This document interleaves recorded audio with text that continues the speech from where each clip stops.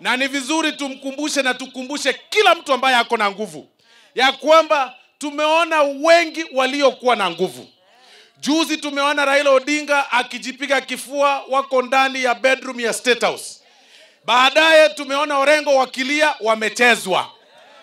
Munafaa kujua kuna siku yako pia utalia unachezwa.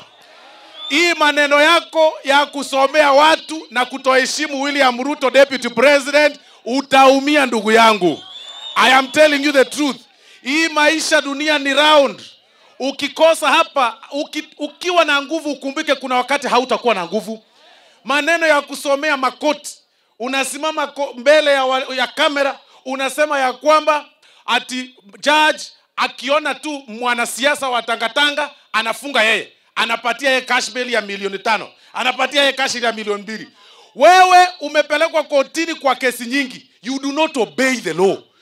There was an order there are so many orders that you do not obey.